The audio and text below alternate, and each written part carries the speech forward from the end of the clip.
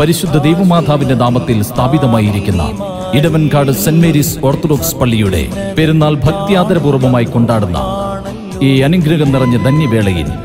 പരിശുദ്ധ ദേവമാതാവെ ഞങ്ങൾക്ക് വേണ്ടി അപേക്ഷിക്കണമേ എന്ന പ്രാർത്ഥനാ മന്ത്രവുമായി പരിശുദ്ധ ദേവമാതാവിന്റെ അനുഗ്രഹം നിറഞ്ഞു നിൽക്കുന്ന ഈ പുണ്യ ദേവാലയത്തിലേക്ക് കടന്നു വരുന്ന